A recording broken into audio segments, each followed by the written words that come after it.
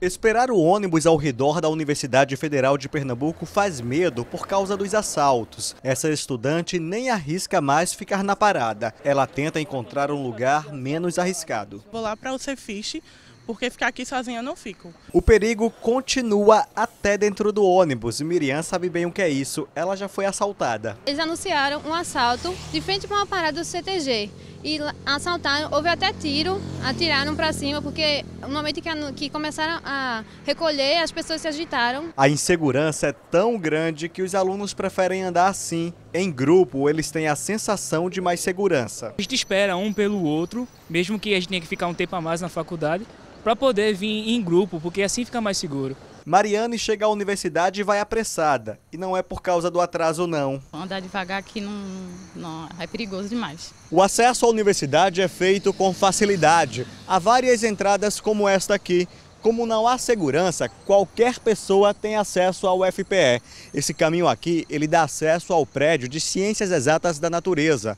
Um caminho até iluminado, mas bastante esquisito e cercado por muito mato. Por dia, 50 mil alunos e funcionários passam pelo campus e todo mundo que conversou com a gente disse que tem medo da violência. A segurança da UFPE faz ronda, mas os estudantes denunciam que é preciso mais homens trabalhando. Sempre tem, sabe, carro de polícia, tem segurança, mas eles nunca vai ter em todo canto, entendeu? Em antibiótico mesmo, às vezes eles estão lá, às vezes eles saem para fazer a ronda e é nessa saída que eles fazem para tem para fazer a ronda que uma pessoa é assaltada, entendeu? Caminhar aqui no NEFD, que é o Núcleo de Educação Física e Desportos, também dá medo.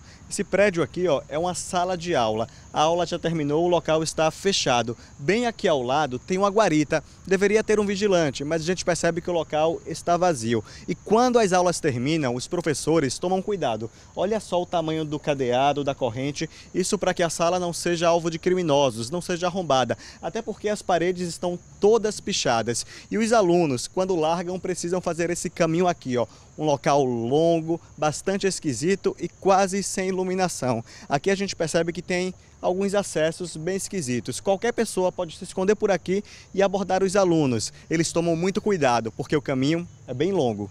Pela manhã e pela tarde a gente vê eles ainda. Agora, pela, assim, quando chega às 5 horas a gente já não, não se encontra tanto. As quadras ficam desertas, ninguém arrisca frequentar isso aqui. É escuro demais. E por falar em escuridão, olha como está a pista de corrida. O poste apagado, poucas pessoas se exercitando e o som que reina é esse aí. Esse trecho da pista de corrida parece ser um dos mais complicados. Aqui é uma escuridão danada. Olha só, tem até estrutura para iluminação, mas lá ficou apenas a lâmpada, que nem funciona mais. Desse outro lado também tem problema. Ali ficou apenas ó, a fiação elétrica. Ao tirar a luz do nosso equipamento, você vai perceber como fica. Uma escuridão só, dá até medo de ficar por aqui. É, com essa realidade não tem como a caminhada ser sossegada. Não venho com relógio, não venho com celulares, não venho com nada.